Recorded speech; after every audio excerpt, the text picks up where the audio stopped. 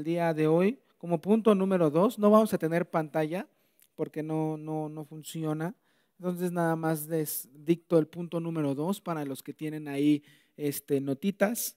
Es sus obras y sus palabras son verdad. Sus obras y su palabra es verdad. Ese es el punto número, número dos de lo que concluimos acerca de que Dios es veraz. Para introducir este punto, hermanos, quiero hacer una advertencia. Hoy en día, cuando usted platica con personas que no son creyentes, lo que reina es la subjetividad. ¿Qué es esto de la subjetividad, hermanos? Es la afirmación de que no hay una verdad absoluta. Es decir, que nada puede tornarse a que realmente es así, que no hay verdades absolutas. Eh, ¿Esto qué ha llevado? Esta filosofía, ¿qué ha llevado a las personas? Dicen, ok, Dios existe. Concluyen, sí, porque realmente yo no soy producto de una explosión. Toda la tierra, toda la creación no es producto de una explosión. Pero la pregunta entonces surge, ¿dónde encuentro a ese Dios creador? Dios nos creó, pero ¿dónde lo encuentro? ¿Y qué es lo que han hecho las personas? Buscarlo bajo sus propias inteligencias, bajo, sus sentimientos, bajo sus emociones. ¿Qué es lo que dicen? Mm, si eso me hace sentir bien, entonces quiere decir que eso es bueno y que le agrada a Dios. Bueno, yo pienso que la vida solamente consiste, por ejemplo, no tomo, eh, cuido a mis hijos, voy a trabajar y regreso. Y eso le agrada a Dios. Cada quien aquí puede vivir como quiere, porque como no hay una verdad absoluta, no hay nadie que nos diga cómo llegar a Dios. Por lo tanto, cualquier religión puede llegar a ese Dios creador.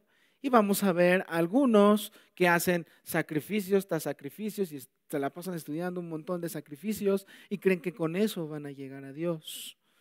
Otros hacen recorridos en diciembre en donde tienen un desgaste físico y creen que eso es lo que le agrada a Dios. Otros dicen, es que se me apareció un ángel, se me apareció tal persona y me, reveló la religión verdadera. Pero ¿qué enseña la Biblia? ¿Qué enseña la Biblia, hermanos? Cuando vamos a las escrituras, le pega el orgullo al hombre. ¿Por qué? Porque la Biblia constantemente va a estar afirmando, eres pecador y necesitas un Salvador. Y entonces la Biblia nos va a estar diciendo constantemente, no se trata de lo que tú haces, no se trata de mí, de ti, perdón, se trata de mí, de Dios. Y la Biblia constantemente nos va a estar hablando del Señor Jesucristo y de su obra para salvación por los pecadores, reconciliación con ese Dios creador. Pero la gente no quiere oír eso. La gente está acostumbrada a resolver las cosas con su propia inteligencia. Pero la Biblia es una fuente segura en la cual nosotros podemos tener esa convicción, esa confianza de que conocemos al Dios verdadero. Y es lo que vamos a estar viendo el día de hoy. Vean lo que dice Daniel 4:37. Daniel 4:37. Aquí está hablando el, eh, el, rey Nabucodonosor, el rey babilónico. ¿Quién le da lectura, hermanos? A Daniel 4:37.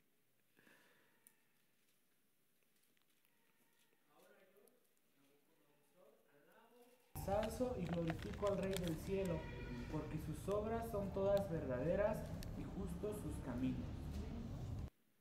Él puede, ¿puedes continuar, Daniel? Con soberbia. Muchas gracias. Muy bien. Entonces, ¿qué nos dice aquí la Biblia? Las obras de Dios son qué? Verdaderas, verdaderas. Ahora, ¿qué es lo que está expresando aquí el rey Nabucodonosor? ¿De qué obras está hablando? Dice, sus obras son todas verdaderas y justos sus caminos. Tenemos que ir entonces al contexto inmediato, es decir, lo que lo que hay en versículos anteriores. Si ustedes recuerdan, a este rey se le daba por tener sueños, pero la interpretación de ese sueño se la volvió a dar el profeta Daniel. Y el sueño consistía, la interpretación era que el rey iba a compartir su vida con las bestias del campo. Y esto por qué? Como juicio por parte de Dios, porque el rey se jataba, decía que por sí mismo tenía dominio sobre todas las naciones. Eso usted lo puede ver en Daniel 4, 23 al 27. Y entonces en el versículo 27 Daniel lo llama al arrepentimiento. Por tanto, oh rey, que mi consejo le sea grato. Ponga fin a sus pecados, haciendo justicia y a sus iniquidades, mostrando misericordia a los pobres. Quizá sea prolongada su prosperidad. Versículo 29. Todo lo que Dios decretó y le declaró al rey Nabucodonosor que sucedería tal y como dijo, así sucedió. Vean, versículo 29.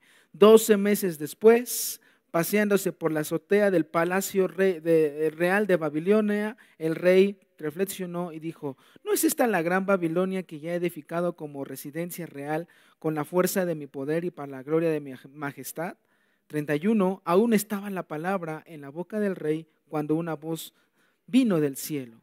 Rey Nabucodonosor, a ti se te declara, el reino te ha sido quitado y serás echado de entre los hombres, y tu morada estará con las bestias del campo. Te darán hierba para comer como al ganado, y siete años pasarán sobre ti hasta que, hasta que reconozcas que el Altísimo domina sobre el reino de los hombres y que lo da a quien le place. Entonces los versículos 33 y 34 nos hablan del cumplimiento de lo que Dios había declarado, desde el versículo 23 al versículo 27. Y entonces esta obra que Dios mismo empezó a formar con sus manos, en el versículo 37 Nabucodonosor la reconoce. Ahora yo, Nabucodonosor, alabo, ensalzo y glorifico al Rey del cielo porque sus obras son todas verdaderas. Dios no vacila, hermanos, cuando anuncia lo que va a hacer. Él es poderoso para cumplir lo que ha decretado en hacer. Cuando el Señor afirma que algo va a hacer, eso se hará tal y como Él lo ha dicho. Y esto lo reconoce el salmista. El Salmo 111, versículo 7, si alguien me apoya en leerlo. Salmo 111, versículo 7. ¿Quién me apoya a leerlo?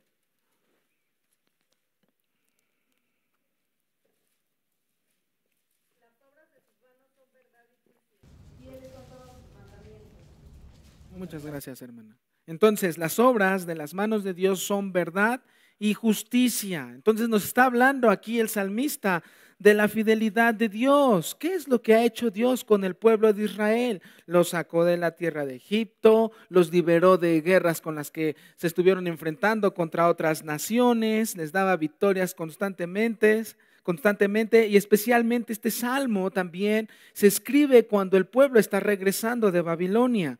Y en el Salmo, en el capítulo 111, perdón, capítulo, versículo 6 del capítulo 111, Dios ha dado a conocer a su pueblo el poder de sus obras al darle la heredad de todas las naciones. Entonces, el, el, salmista reconoce la fidelidad de Dios hacia con su pueblo.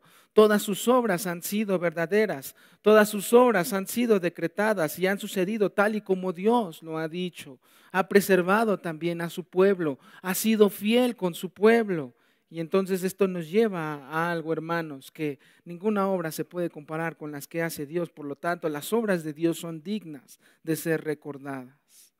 Pero aquí también tenemos algo. El Salmo 100, perdón, el Salmo 19, no lo busquen, nos recuerda lo siguiente, los cielos cuentan la gloria de Dios y el firmamento anuncia las obras de sus manos. Entonces, tenemos ahí una revelación natural, una revelación general de Dios. Esto es lo que veníamos hace rato en la introducción. Podemos contemplar a nosotros mismos, que nosotros mismos somos creación de, Dios. Y, y esto cumple su propósito, porque anuncia que todo ha sido creado por un ser divino.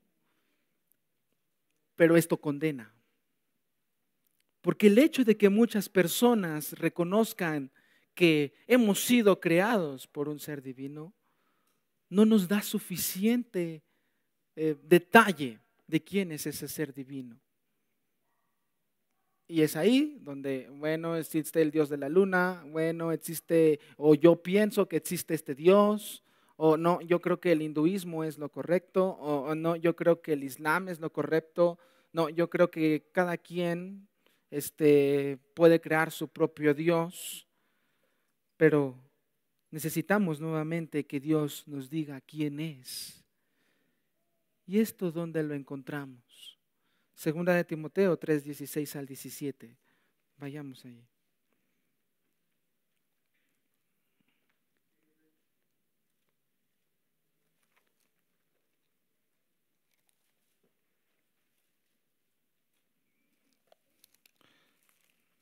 Segunda de Timoteo 3, 16 al 17 es un texto muy conocido. Realmente estaremos repasando algo que ya ha sido enseñado aquí en la iglesia, pero pues somos muy olvidadizos muchas veces. Dice Pablo, que le escribe a Timoteo, toda escritura es inspirada por Dios y útil para enseñar, para reprender, para corregir, para instruir en justicia, a fin de que el hombre de Dios sea perfecto, equipado para toda buena obra. Entonces, lo vimos eh, aquí en el domingo que se nos habló acerca de eh, la sola escritura. Dice aquí Pablo, toda escritura es inspirada. ¿Esto qué quiere decir, hermanos? Teopneustos en, el griego. ¿Pero qué quiere decir en español? Inspirada, exhalada, muy bien, gracias hermano Rodo. Exhalada quiere decir que Dios la exhaló, Dios la sopló. Eh, por lo tanto, la Biblia que tenemos ahí, la Biblia, la copia de la palabra de Dios, dice un hermano, que usted tiene en sus manos, es palabra de Dios, es palabra de Dios. Y entonces es aquí donde nosotros tenemos la convicción de que Dios, el creador de todo el universo, el que quién es Él, se nos ha dado a conocer por medio de su palabra. Y entonces Pablo dice, toda escritura, pero tenemos que hacer una pausa aquí, hermanos, porque el canon, cuando, está, cuando Pablo está escribiendo Timoteo, el canon del Nuevo Testamento aún no ha sido culminado. Por ejemplo, el libro de Hebreos no, no había sido escrito todavía cuando Pablo está escribiendo aquí Timoteo. Apocalipsis no está siendo escrito, Juan no ha tenido esa revelación todavía. Y entonces, Pablo está diciendo que toda escritura es inspirada por Dios, pero ¿cómo podemos confiar en que en el libro de Hebreos o los libros del Nuevo Testamento que aún no se han, escrito han sido inspirados por Dios? Tenemos que responder esa pregunta, porque si no la respondemos, si no tenemos una convicción de esa pregunta, no podemos tener la convicción de que la Biblia realmente es la palabra de Dios. Y entonces, como muchos afirman, Pablo solamente se refiere aquí al Antiguo Testamento como, como escritura inspirada por Dios.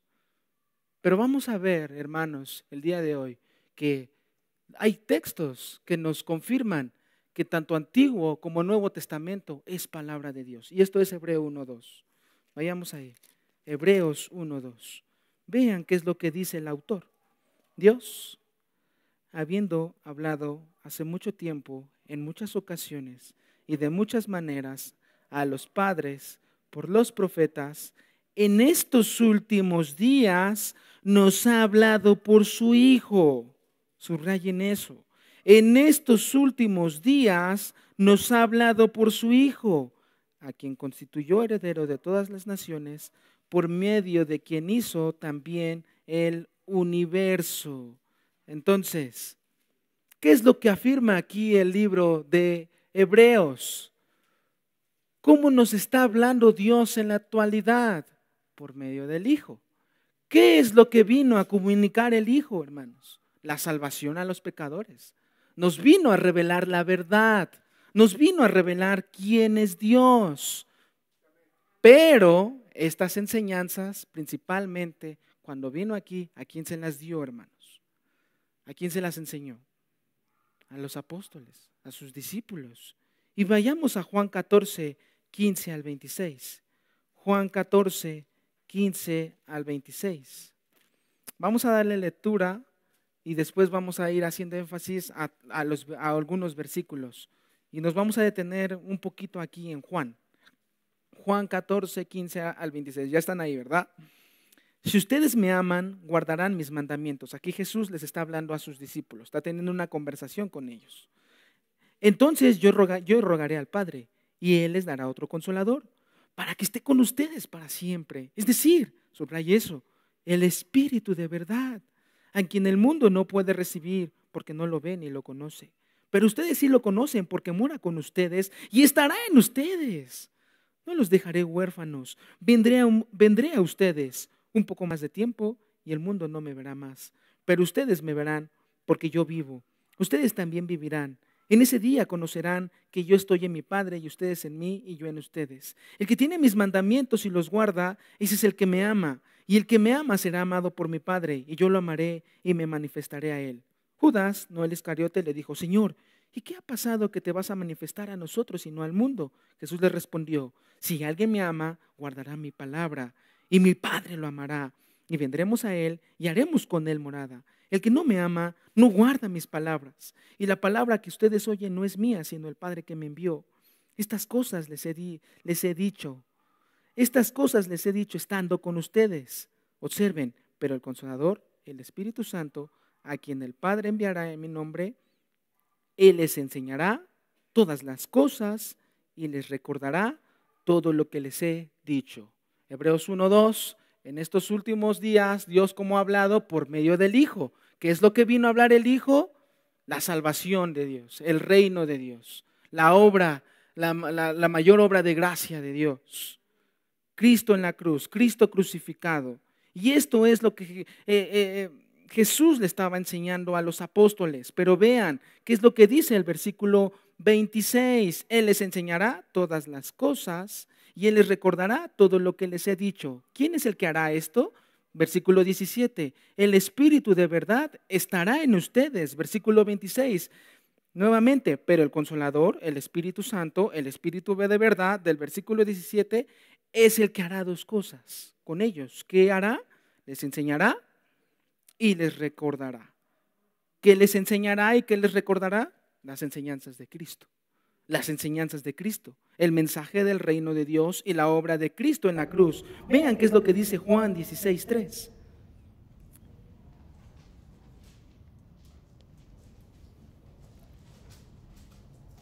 Dieciséis trece, perdón hermanos, dieciséis trece.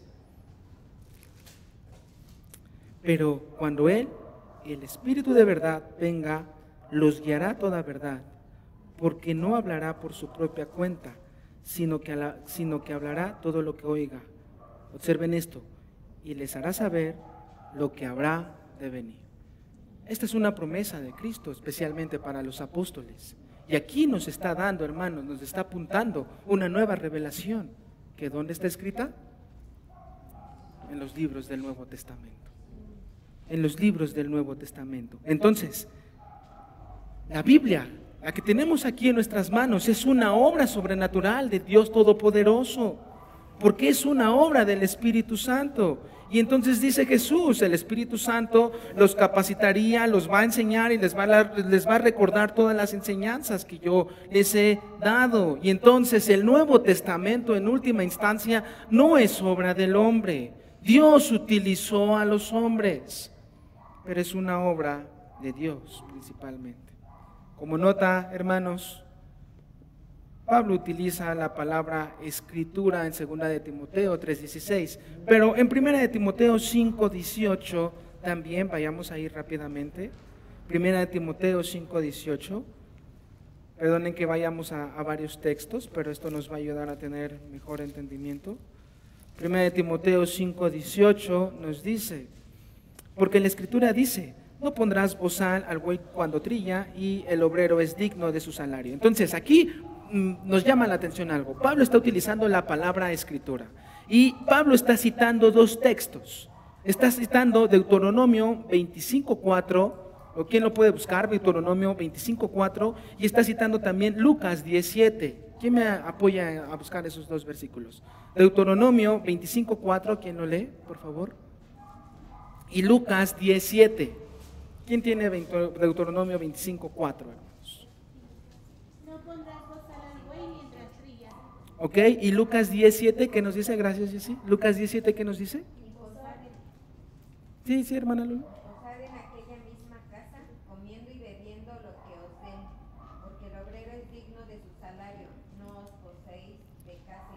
Ok, entonces, aquí tenemos una clave también. Pablo se está refiriendo a la palabra escritura tanto a un texto del Antiguo Testamento como a un texto del Nuevo, del Nuevo Testamento.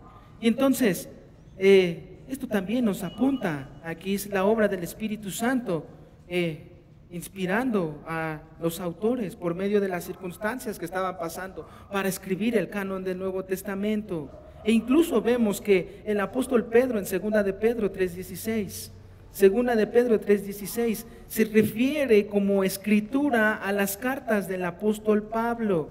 Vean qué es lo que dice. Asimismo, en todas sus cartas hablan ellas de esto, en las cuales hay algunas cosas difíciles de entender, que los ignorantes e inestables tuercen, como también tuercen el resto de las escrituras para su propia perdición. En el versículo 15 está hablando ahí de cuáles son esas escrituras, las cartas del apóstol Pablo. Entonces, hermanos, la Biblia misma, Dios mismo, nos confirma que todos los 66 libros que tenemos aquí, Antiguo y Nuevo Testamento, son verdad.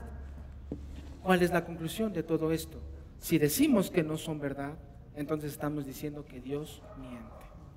Que Dios miente. Si decimos que son cuentos ficticios, como algunos mencionan, que son cuentos de hadas, que son mitos o que son historias, porque antes también se escribían libros muy parecidos a este, entonces decimos que Dios miente.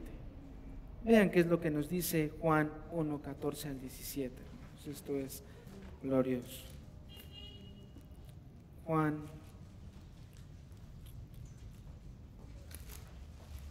1, 14 al 17. El Verbo se hizo carne y habitó entre nosotros, y vimos su gloria, gloria como la del unigénito del Padre, lleno de gracia y de verdad. Juan dio testimonio de él y clamó, este era el que yo decía, el que viene después de mí es antes de mí, porque era primero que yo. Pues de su plenitud todos hemos recibido, y gracia sobre gracia, porque la ley fue dada por medio de Moisés, la gracia y la verdad fueron hechas, realizada, realidad, perdón, por medio de Jesucristo.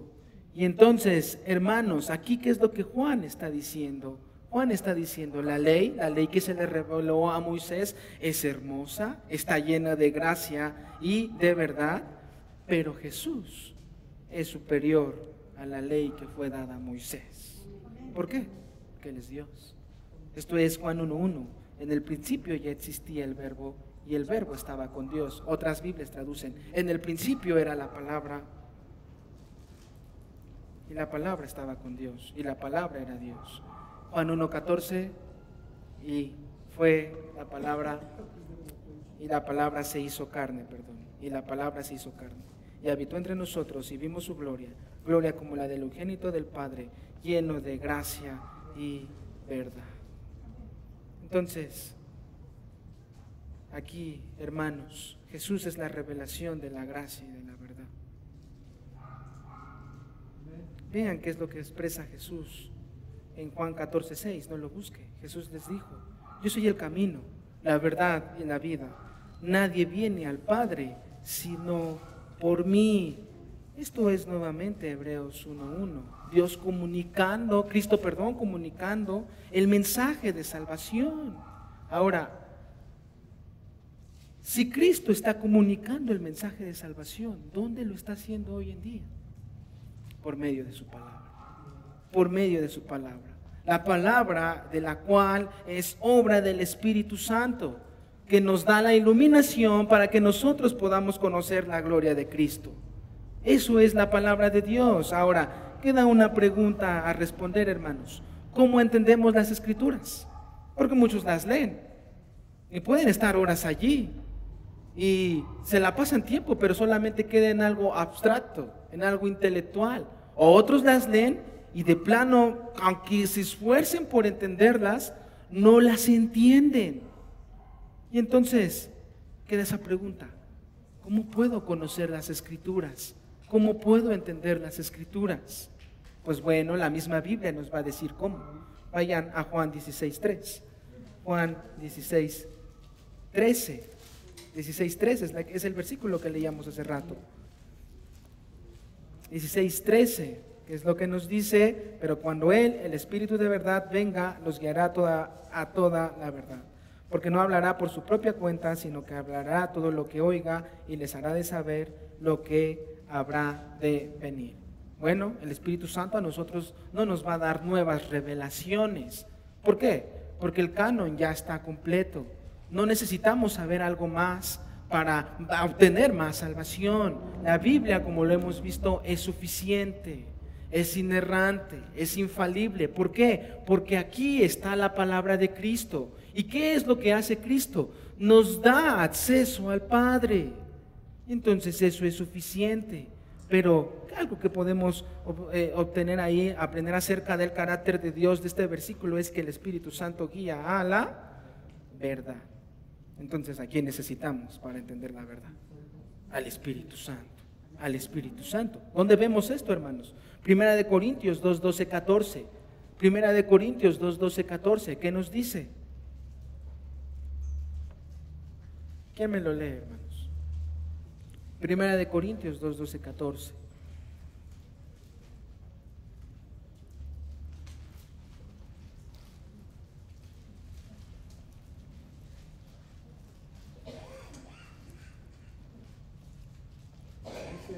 nosotros no hemos recibido el Espíritu del mundo, sino el Espíritu que proviene de Dios, para que sepamos lo que Dios, ha lo que Dios nos ha concedido, lo cual también hablamos no con palabras enseñadas por sabiduría humana, sino con las que enseña el Espíritu, acomodando lo espiritual a lo espiritual. Pero el hombre natural no percibe las cosas que son del Espíritu de Dios, porque para él son locura y no las puede entender porque se han de discernir espiritualmente. Gracias, hermano. Entonces, es claro el texto. Para entender la palabra de Dios necesitamos la iluminación del Espíritu Santo, que es el que nos llevará a conocer, a contemplar, a admirar la gloria de Cristo. Y es importante recordar, hermanos, que el Espíritu Santo jamás va a guiar a un creyente y le va a revelar algo que vaya en contra de lo que dice la palabra de Dios, en contra de lo que dice las escrituras. Esto es muy sencillo. Llega un ángel y se me aparece aquí, se nos aparece aquí. Y nos anuncia algo diferente. No proviene de Dios. No proviene de Dios. Pablo es claro en Tesalonicenses retener lo bueno, desecha lo malo. Y eso no quiere decir, ay, contempla un poquito, no, no, no, no. Desecha lo malo, tíralo a la basura. No tiene nada que ver que Dios, pues no lo acepto. Sencillo. La Biblia es clara, hermanos. A veces queremos este, eh, mantener equilibrio en ciertas cosas, pero hay razones por las que Dios nos dice, ¿es esto? Eres hombre, eres hombre. Y ahí te mantienes. Nada de que te sientes medio así o que tienes esta situación. No, no. Eres hombre, eres hombre. No da pautas a eso. ¿Por qué? Porque eso es verdad. Porque Él es nuestro creador. Porque es la palabra de Dios. Y eso nos lleva a nosotros también, hermanos, a examinar todas nuestras experiencias, todos nuestros sueños, todos nuestros sentimientos. Todo lo examinamos a la luz de las escrituras. No se trata de tomar decisiones bajo lo que yo siento, bajo mi experiencia. ¿Qué dice Dios al respecto? ¿Qué dice Dios al respecto? ¿Por qué? Nuevamente, porque es la palabra de Dios. Y es la palabra de verdad. Es la única verdad. Esto, hermanos, la dependencia del Espíritu Santo, y lo van a ver de, eh, de mejor modo dentro de ocho días, primero Dios, no quita a que el creyente diga, ah, dependo del Espíritu Santo, entonces nada más leo y a ver qué me dice que le diga a los demás. No. Segunda de Timoteo 2.15, Pablo le escribe a Timoteo, procura con diligencia presentarte a Dios aprobado como obrero que no tiene que avergonzarse, que traza con precisión la palabra de verdad. ¿Qué es esto? Timoteo, preséntate aprobado a Dios. ¿Cómo te tienes que presentar aprobado a Dios? Traza con precisión la palabra de verdad. ¿Qué era lo que estaba haciendo Timoteo? Predicando en la iglesia donde estaba pastoreando. Pero muchos de ustedes también pueden predicar la palabra de Dios con sus hijos, con sus esposas o con un amigo cuando están predicando el Evangelio. Y si ustedes, hermanos, no predican fielmente la palabra de Dios, entonces están haciendo a Dios mentiroso. Y eso es condenable delante de Él. Eso es pecado.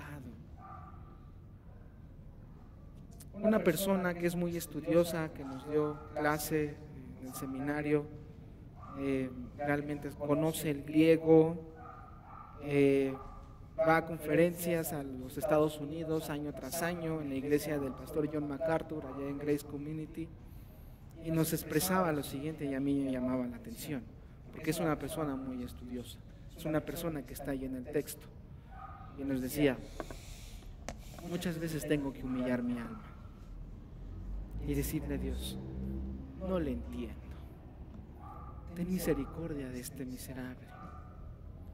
Y nos, nos, seguía comentando el hermano. Y nos decía, y vean, muchachos, Dios me respondía de una manera tan maravillosa cuando me humillaba delante de Él, que me hacía cada vez más claro el texto.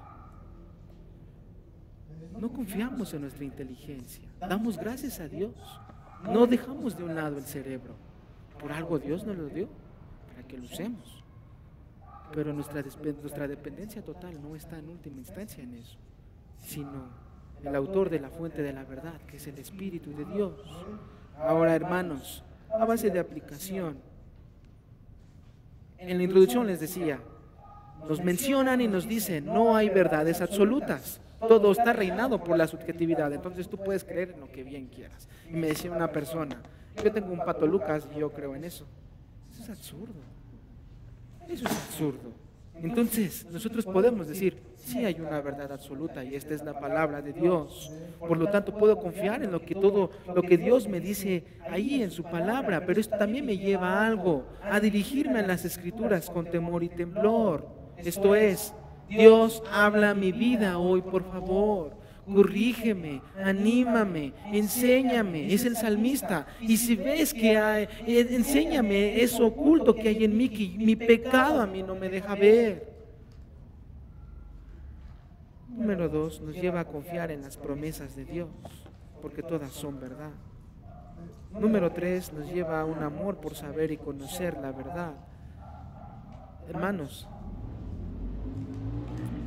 a partir de este momento de las veces que nos se nos ha predicado, si algo debe de ser usted o debe de anhelar usted es estar aquí en la escritura, es estar meditando en la escritura, es estar pasando tiempo en las escrituras. No para ser más abstracto, no para ser más inteligente, sino para conocer más a Dios, que es el autor de la verdad. Y por último, hermanos, ¿quieren depender del Espíritu Santo? ¿Quieren ustedes depender del Espíritu Santo? Entonces dejen que los ilumine por medio de su palabra. Demos gracias a Dios por el Espíritu de verdad. Concluyo, hermanos. En un mundo donde hay confusión, donde ya no saben ni siquiera si el color rojo realmente es rojo o si dos más dos en realidad si son dos o veremos, donde ya no saben si son realmente niñas o son niños, donde reina la subjetividad, Jesús viene y nos dice, yo soy el camino, la verdad y la vida. Nadie viene al Padre sino por mí.